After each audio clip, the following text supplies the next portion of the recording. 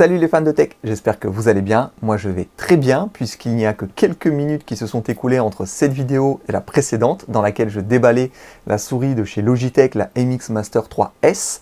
Et comme je le disais dans la vidéo précédente, il est dommage que Logitech n'ait pas fourni un étui de transport pour protéger cette souris et pour y mettre les accessoires, notamment le dongle qui est fourni avec euh, ce modèle, qui ne dispose pas de logement dans lequel on pourrait l'y mettre. Et ça, c'est euh, pour moi, c'est aberrant quand même, surtout que ce n'est pas la première version de la MX Master que Logitech nous sort.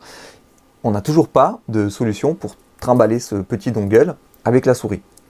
Donc, j'ai immédiatement acheté en même temps que la souris un étui de transport dans lequel on peut y caser ça. Il est ici. Il n'a rien de vraiment spécial ou spécifique à part le fait qu'il est spécialement conçu pour ce modèle et pour y mettre le dongle. C'est du rigide. Très important pour moi que ce soit rigide et non pas souple parce que ça évite, en cas de choc, de casser la souris qui, elle, est en plastique. Donc on va rapidement déballer cet étui. Comme d'habitude, bien sûr, je vais vous mettre toutes les informations utiles en description pour que vous puissiez, si vous le désirez, l'acheter pour protéger vous aussi votre souris MX Master. Je crois que c'est même compatible avec les précédents modèles, donc euh, Vraiment que vous ayez euh, la 2S, la 3, la 3S ou peu importe. Tant que c'est une MX Master, elle rentrera normalement là-dedans. Donc on va rapidement déballer, on va voir si effectivement on peut y caser le dongle et si la souris rentre comme prévu à l'intérieur. Et puis je pense qu'on aura très vite fait le tour et ça devrait aller assez vite pour cette vidéo. Allez, on passe aux choses sérieuses, c'est parti pour le déballage. Alors le tour du paquet va être très très rapide puisqu'il est complètement transparent et que c'est du pur plastique. Donc euh, on va pas s'attarder plus que ça. On ouvre.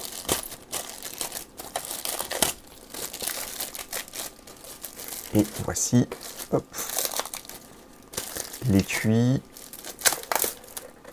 Alors pas voici parce que toujours pas fini. Finalement je suis pas si doué que ça. Oh là j'y arrive pas. Attendez, hop. Voilà. Donc il y a même une petite dragonne qui est fournie. Je ne sais pas si je vais la laisser parce que dans mon sac à dos, je euh, je vois pas trop l'utilité, mais elle est fournie, elle est là. Donc on prend l'étui, encore une fois, rigide. Alors c'est pas du vraiment 100% rigide, c'est-à-dire que c'est légèrement souple. Si j'appuie vraiment très fort, on voit que ça, plie légèrement, mais c'est largement suffisant pour protéger des chocs. Donc là, on dézippe et on va voir tout de suite si c'est ce que j'attendais, surtout pour le dongle. Eh bien oui, ça a l'air. Donc ici, vous avez des petits renforts pour bien caler et protéger la souris. Donc on prend le dongle qui est là. Lui, il va venir se caser, euh, je ne sais pas trop comment. Plutôt comme ça. Ah il ressort. Ah, vous voyez, c'est pas non plus euh, foufou parce que il ressort, le coquin. Euh, ok, bah écoutez, euh, c'est pas non plus top top, mais peut-être qu'avec le temps, ça va se faire et ça restera bien en place. Pour l'instant, c'est un peu euh, un haricot qui rebondit, voyez, dès que je lâche.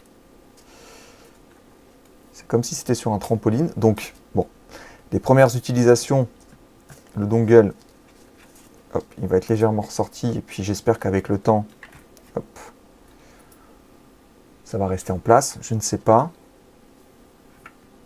En tout cas, si je ferme, voyons voir. Est-ce qu'il se balade? Je vais bloquer ça et ça pour pas qu'on entende.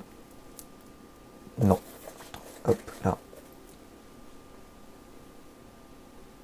Non, il ne se balade pas. Mais par contre, il n'est pas bien casé à l'intérieur. Donc, euh, euh, je ne sais pas si je peux vous le conseiller tel quel, parce que vraiment ça, ça m'embête, puisque c'est la raison pour laquelle j'ai acheté cet étui-là spécifiquement. Et le fait qu'il ne soit pas bien maintenu, je ne peux pas vous dire euh, allez-y, foncez. Bon, si ça ne vous embête pas, ou si vous n'utilisez pas ce dongle, que vous ne voulez pas spécialement le trimballer avec vous, et que vous voulez vraiment protéger votre souris, ça le fait. Par contre, si vous voulez qu'il soit bien maintenu, bah, je peux pas vraiment vous conseiller ce modèle. Bon, voilà. Ok. Je pense que la vidéo a assez duré. 3 minutes 30 de déballage. C'est bien assez comme ça. Donc, pour quelques euros, euh, je crois que j'ai payé ça entre 10 et 20 euros, mais comme d'habitude, tout en description. J'ai pas envie de vous dire de bêtises, mais pour, euh, oui, bon, une dizaine d'euros, on va dire, ça fait le boulot, mais euh, je suis un petit peu déçu. Voilà. Voilà les amis, la vidéo est terminée. Comme d'habitude, si vous avez des questions sur cet étui pour souris Logitech MX Master, n'hésitez pas à me les poster en commentaire. J'y répondrai bien évidemment le plus rapidement possible. Moi, je reviens très vite avec une autre vidéo et d'ici là, portez-vous bien. Salut